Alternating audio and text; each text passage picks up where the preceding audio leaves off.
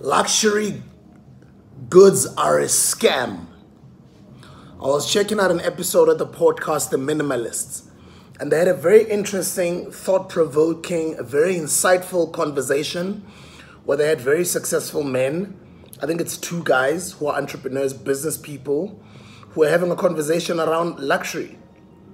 Now, is luxury a concept that was made for people who are not super wealthy to aspire to? Or is luxury a concept that was made for super wealthy people to enjoy? It's food for thought. You're going to have to do the dishes. When you look at it from the one hand, it's like there's all these things, all these brands, and all this soft life that I would love to live, that I'll that I, that I that I would like to enjoy one day. These things that I'd like to buy, these brands that I'd love to have on my body, these cars that I'd love to be inside off and drive them, and these homes, these amazing homes that I'd like to stay in, and and um, these big screen TVs that I'd like to own, this artwork that I'd love to have, and just this type of furniture and this type of gold that I'd like.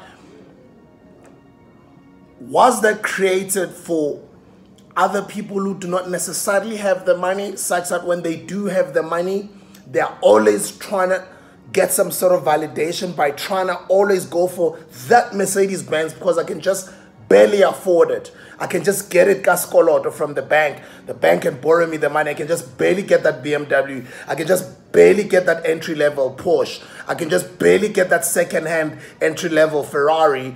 I can just get a score somewhere and just buy all these Burberrys and Louis Vuitton, Balenciagas, and all these brands? Or is it a concept that was just designed for the super wealthy, where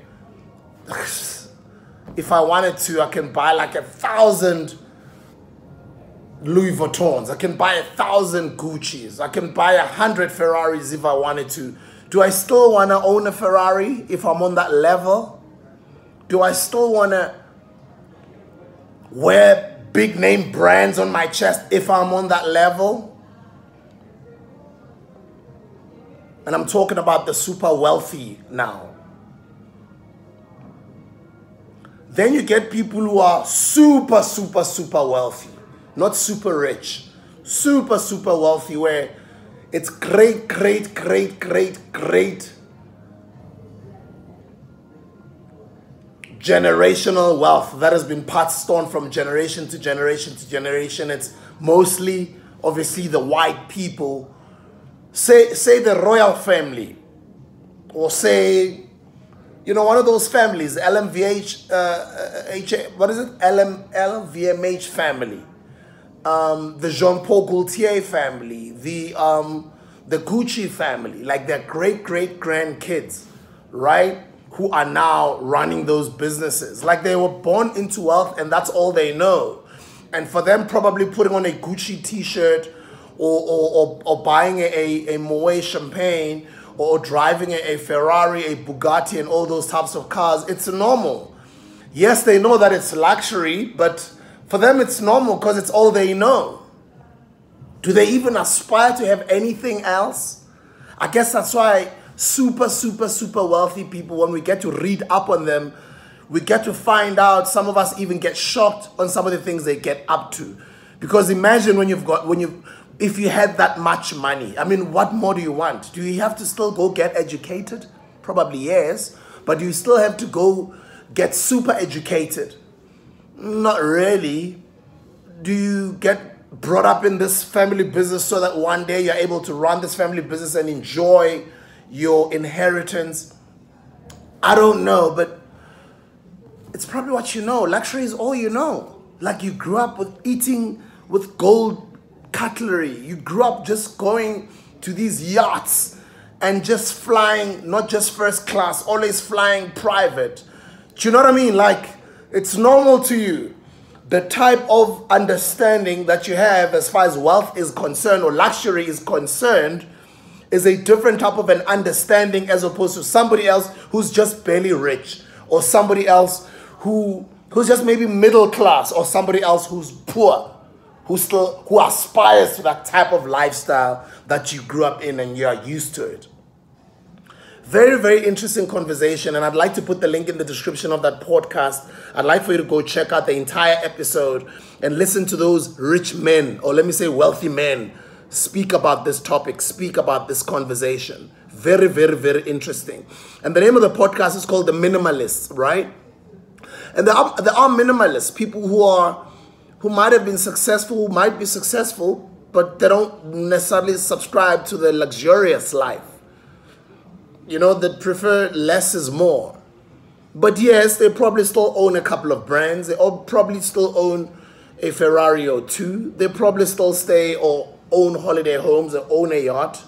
But then there's other people who are who are rich but would prefer just driving an ordinary Toyota, ordinary um, Tesla, ordinary um, Bakkie, but then maybe you go to their home, it's an amazing home, but it's not necessarily like luxurious or flamboyant, but it's just a decent home. You know, so there's levels to this thing. And I don't think I'm one to speak to, I'm, I'm, I'm not the person or the right person to speak on this topic, you know, because I'm not super wealthy. You know, probably my great grandchildren will be one day, but um, I've been blessed to, you know, say they categorize us as what, like the middle class in South Africa, to have been the middle class pretty much almost all my life. And um, I've tasted, you know, some luxuries where you aspire to this, you aspire to drive that, you aspire to stay in that in that um, estate, you aspire to have this type of home, you aspire to buy this type of art. And once you get a little bit of money, you buy all these things, right? And once you've tasted it, sometimes well, I'm talking about myself. Sometimes it feels like, okay, like there is there isn't really much to this. And I know a lot of the times when you when you when you don't speak highly of the luxurious life or the soft life, other people there will always comment and say, look at this broke guy speaking. What does he know? He's not wealthy. He's not the right person to speak on this topic. But as somebody who's tasted a little bit of that, I would say um, it's an interesting podcast. That's why I'm even vlogging about it. That's why I'm even talking about it and doing a video on it. Because I'd like for you to go check it out, or I'd like to hear your opinions on the comment section, right? Because those men there, one of them actually says, luxury is a concept that was designed for the poor to aspire to. Other people disagree with his opinions. And then the other guy says, well, I'm pre luxury, meaning he's very successful. He's rich. He's probably not wealthy or super wealthy. Well, that's what he tells us. We don't know. And he is the one who's hosting and conducting the conversation and facilitating the convo between the um, other two men. And he just has got some interesting points as a minimalist and as a minimalist platform. Very interesting conversation. So, because we all work hard, we all want to become these business people, we all want to start all these businesses, we all want to become successful, we all aspire to this soft life. What type of soft life are you aspiring to? So that you can have everything paid off, so that you can have some things to live for your children, or so that you can have this glamorous, amazing life. And when you do get it, will you show it off? Will you be subtle about it? Or do you want like that super, super, super super wealth type of lifestyle where it's not just that you are showing it off, but it's just a part of your life. We all aspire to success, but what type of success are you aspiring to? Because somebody else can say, I want to be a successful teacher, and they become that, and they just get a certain salary to earn a living and have a life cover, medical aid, provide for their family. They're able to take their families on vacation They've got three cars in the home. They've got a car for their wife. They've got a car for themselves. They've got a big car maybe for the kids. And they're okay. And somebody else is a doctor. Somebody else is a lawyer. But they're not like super wealthy. What type of success are you aspiring to? And what is your definition of luxury? And do you agree with that minimalist podcast or the topic where they're saying luxury is just a concept for the poor to aspire to? I don't know. It's just food for thought. You do the dishes.